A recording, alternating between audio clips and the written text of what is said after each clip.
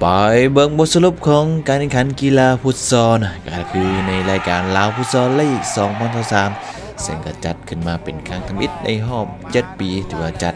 แบบลีกที่ทางสะพานบานเตะแห่งซาลาวก็ได้จัดขึ้นมานะลาวฟุตซอลลีก2023ก็ได้ดำเนินการแข่งขันมาตั้งแต่วันที่ 9 กันยายน2023และก็ได้สิ้นสุดอย่างเป็นทางการในวันที่ 19พฤศจิกายน2023ที่ผ่านมานะอยู่ที่สนามกีฬาในโฮม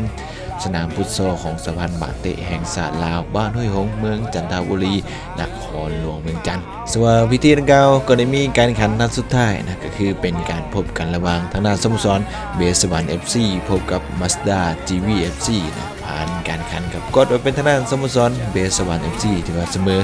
กับ Mazda GB ไป4ประตูต่อ4นะก็ถือว่าสุดมันกันเลยนะสุดท้ายนะเป็นทางด้านมาสดาขึ้นนำไปก่อน ก่อนที่ว่าทางด้านเบสวันจะพลิกขึ้นนำก่อนที่จะจบด้วยผลเสมอ 4 ประตูต่อ4นะ สำหรับวิธีมอบรางวัลก็ให้เกียรติเข้าร่วมเลยทานคำไพประเสริฐของประธานสมันบาเต้แห่งชาติลาวทางเป็นหัวหน้าอนุกรรมการจัดการแข่งขัน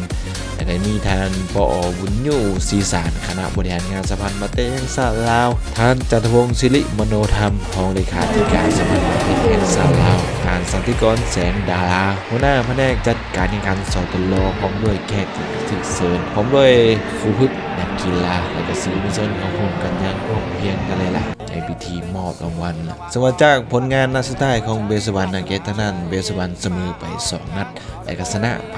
9นัดนะสร้างสถิติก็คือโบเสียให้กับทีมใดจนก้าวสู่การเป็นแซมนะซึ่งก็มี 31 คะแนนน ยิงไปถึง 88 ประตู เสียเพียง3ประตู ได้แก่ได้บัตรเหลือง 5 บัตรและก็บัตรแดง 2 บัตรนะกระจากนะบวกซาวประตูจอมเก่าของเราคือแสงพระจันทร์นะซึ่งว่าเกตในทั้งนั้นเบสวันคว้าขันรางวัลแซมไปหนึ่งหน่วยนะพร้อมด้วยเหรียญรางวัลในการเงินรางวัลจำนวนสาวล้านกีบ และก็ยังเป็นทีมทมิตในรอบ 7 ปี ที่ว่าสามารถคว้าแซมลาวฟุตซอลลีกได้นะที่ว่าทางสมันบาเซตแห่งชาติลาวจัดขึ้น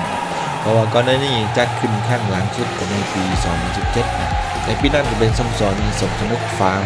FC นะที่ว่าสามารถย่าได้แซมไปจากการลงสนามเก้านัดสนามรวดนะครับมี27คะแนนนะส่วนว่าอันดับ2ก็ตกเป็นของทางด้านคิงดอมนะครับเงินรางวัลไป15ล้านกีจากผลงานลงสนามไป11นัดชนะ 9 เสมอ1และก็เสีย1นัดมี18คะแนนที่3เป็นเนื้อใต้ได้รับรางวัล10ล้านกีจากผลง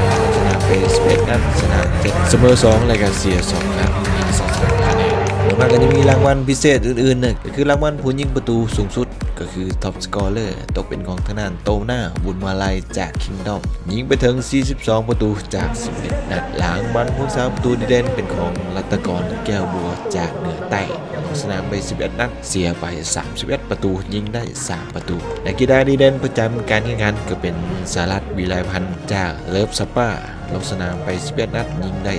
38 ประตูท้ายโดยรางวัลครูฝึกดีเด่นประจำการแข่งขันก็ตกเป็นของทางอภัยวันจันทะลาวงหรือว่าอาจารย์สร้างก็คือพาทางด้านเบสวันชนะไป 9 นัด และเสมอ 2 นัดจาก 11 นัดคว้าแซมไปครองซึ่งนี่ก็เป็นบทสรุปย่อๆของการแข่งขันกีฬาฟุตซอลลาวฟุตซอลลีกประจำปี 2023 พบกันใหม่ในลาวฟุตซอลลีกในปี 2024